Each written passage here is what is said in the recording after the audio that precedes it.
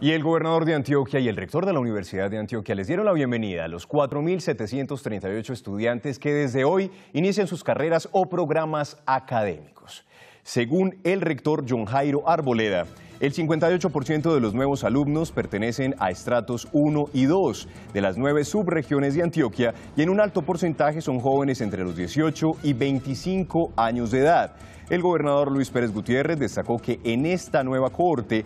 1.015 admitidos estudiantes en las regiones, 164 son víctimas de la violencia, 130 de comunidades afro, 731 son indígenas y 2.700 más de los hogares más humildes de Medellín y el Valle de Aburrá.